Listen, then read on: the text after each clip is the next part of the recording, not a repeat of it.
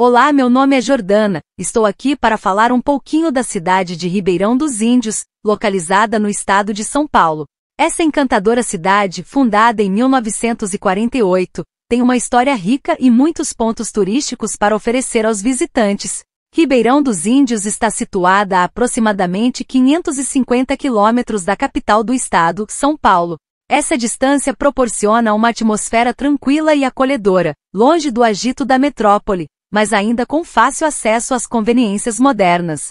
A cidade conta com uma população de cerca de 5 mil habitantes, e seu nome é uma homenagem à tribo indígena que habitava a região antes da chegada dos colonizadores.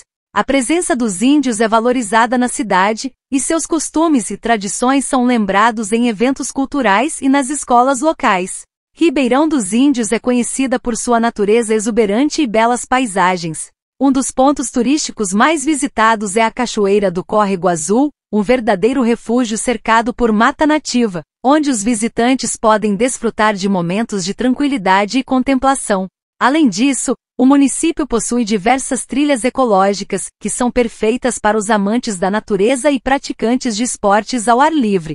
Outro destaque é a Praça Central, um local charmoso e acolhedor, onde os moradores e turistas se reúnem para desfrutar de momentos de lazer e convívio social. A praça conta com áreas arborizadas, bancos, parquinho infantil e uma bela fonte, proporcionando um ambiente agradável para toda a família.